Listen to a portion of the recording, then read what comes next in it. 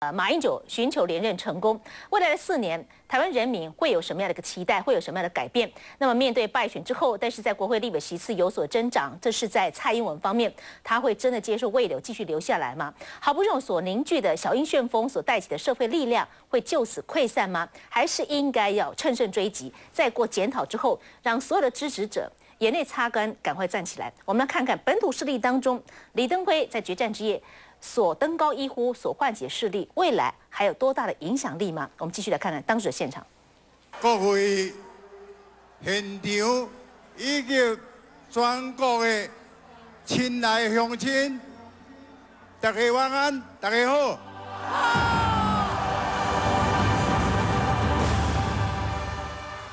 这段的日子啊，以来我一直想讲要来出来甲大家斗阵。为了咱台湾的前途拍拼，但是啊，身体啊实在无够好。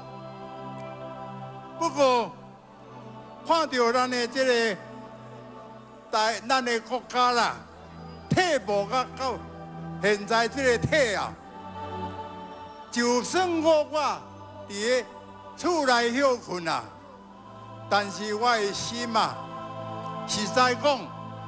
无法度休困啊！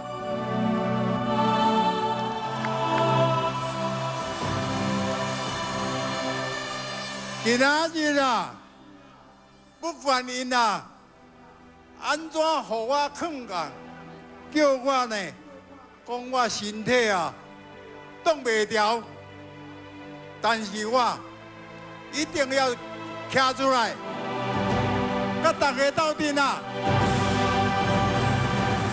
为台湾啊，拼最后一场啦！因为啊，这场啊，不只是蔡英文要赢啦，是咱台湾啊，一定啊要赢啦！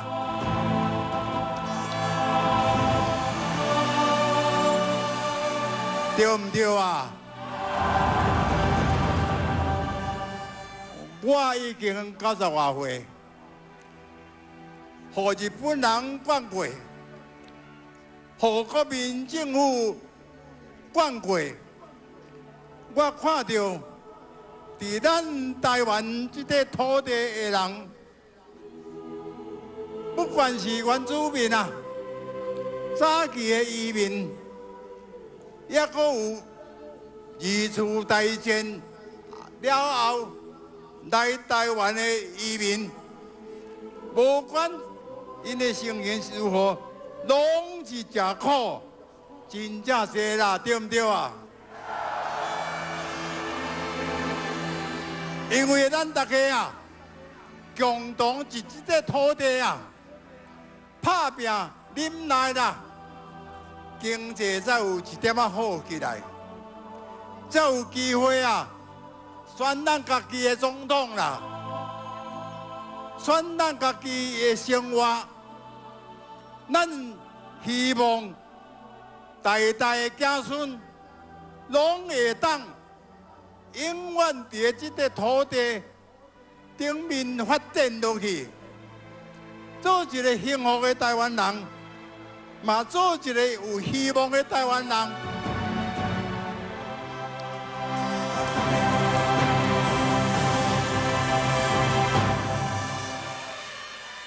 做生意的人啊，希望啊，生意兴旺；农民啊，希望好收成啊，农产品啊有销路；做工的人啊，希望啊有赚钱啊，未失业；大学生希望啊。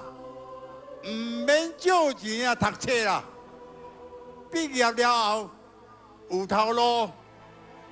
少年人啊，嫁娶某、生囝、买一间厝啊，建立家庭。老大人啊，希望啊，年老啊有人照顾。咱也希望有一个公正的司法的制度，有一个公平的经济制度，有一个台湾文明的教育制度。咱啊，更加希望啊，万一啊，咱啊受到灾难的时啊，政府啊会当甲咱保护。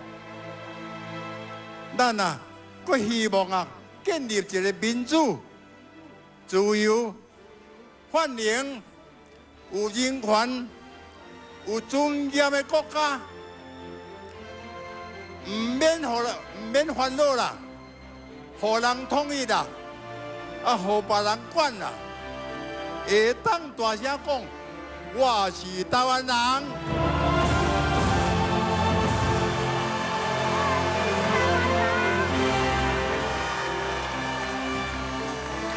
不过啊，在现在政府领导下，咱的希望啊，无法度可能实现啦，对不对？现在政府啊，无希望啦，对不对啊？但是啦，咱也相信，咱有能力来改变。因为台湾是民主的国家，咱的命运啊，就是掌握伫咱的手头的选票啦。咱啊，用咱的选票选咱家己的希望，选咱幸福的未来。咱啊，相信咱自己。咱啊，要阁相信蔡英文，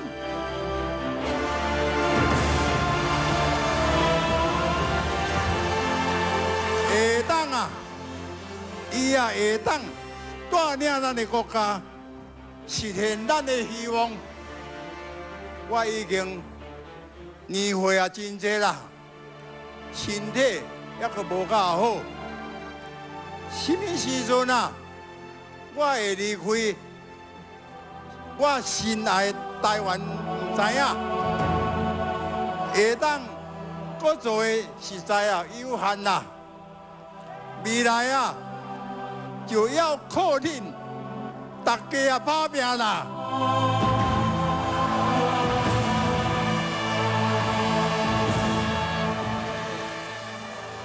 大家啊，为台湾继续打拼。好唔好啊？票数啊，非常的接近哦！拜托大家啊，一定要去投票，全力啊，邮票、催票、股票，支持一号的啦！支持蔡英文啊，博士啊！我蔡英文将为台湾第一女总统，创造台湾民主新的典范，好唔好啊？明仔载啊，选英文，要选蔡英文啊，选咱的希望啦，选咱的幸福。相信啊，咱家己自己相信啊，蔡英文，和家己啊有一个机会，和台湾有一个机会，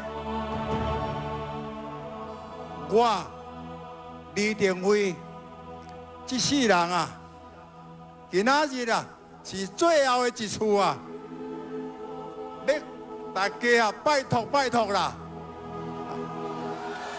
多谢你了。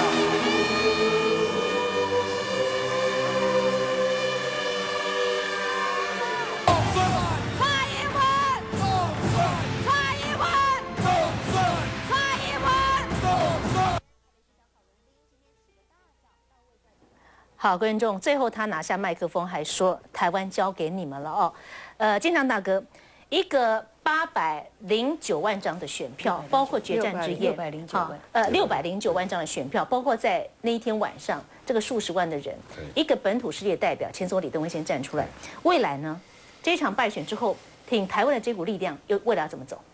我想不会溃散了哈。我想李登辉先生作为一个台湾这样的一个身经百战，在政治政坛上面，我想各党派的人都对他蛮尊敬的。我想包括连战也应该对他对他有一些感恩才对了。那未来谁呢？谁去凝所以我认为说这个力量，凝聚这股社会力量一个以以一个九十岁高龄的人在最天晚上做最难一球，我们把台湾交给你个台湾高龄哈。其实相对来讲，今天也有很多手头组的人出来支持小英，然后很多人在昨天晚上掉眼泪。不过我以一个刚才我们神拜讲的哦，如果政治作为一种专业跟职业的话，你把它做一生的奉献的话，其实这个整个一个胜输之间呐，都有可能在人生的历程里面会经历很多次。我刚才一直重申。我们台湾整个绿色的基本盘有四十五以上的基本盘，这要拿到这六，并不是不不不可能的事情。我们要反躬自省，这六我们怎么样办法拿拿得到？我相信这个气永远不会散掉，有一天我们会看到胜利一天。呃，你想凯老师，在这样的挺台湾的力量怎么走？就此溃散吗？蔡英文能够不再度站出来吗？呃，不管蔡英文要不要站出来，我认为。台湾的社会的力量不会啊，因为这样而溃散，因为台湾的问题还是存在。好，当然，好，我们也很期待，呃，蔡英文能够继续来领导这个社会力量，但是也要啊，让他再沉淀一下。但是我这边更重要，马英九，好，他今天已经宣誓，他要每半年跟在野党呃领袖做会晤，不要只是形式，要当个全民总统，解决台湾人民的痛苦。来，郑龙兄。李登辉九十岁了，呃，不止刚开过大刀，事实上还有案子，还被起诉。九十岁的人站在那边求什么？我就一直在讲求什么。二十三年前，这是一月十三号嘛？二十三三年前，他有机会接掌台湾的国家领导人地位。那时候蒋经国病逝，在在那之之后之后，其实他只。他如果继续选择他是中国人的话，他现在这个坐享清福，很包括马英九都要去跟他磕头的。可是他选择一条路线，台湾人，他就是台湾人，从头到尾就是台湾人。是回复了这样的一个身份之后，二十三年来，他一路是有他的成功，也有他颠簸的地方。可是这样的一个一个一个老人，他今天站在那里，为什么？为台湾人打拼，为台湾的作为一个台湾人，你必须要有你自己的国家，你必须要自己的土地，你必须要有自己的人民，你要有一个民主的制度。这个东西一路以来都是李登辉跟大家一起打拼的。所以，我们在听他的时候，刚听的时候我很感动，后来我也是百感交陈。我们台湾走这么久了，为什么还要九十岁的人站出来？放眼民进党这些大佬种种。有谁有他那个能量？没有就李登辉之后，我们怎么往前走？嗯，我们只有我们自己，我们每个人蓄积的这样的一个能量。你如果认同你自己是台湾人，你认同台湾就是你未来子孙生根立命的地方，你不能放弃打拼。好，我们休息片刻，马上再回来。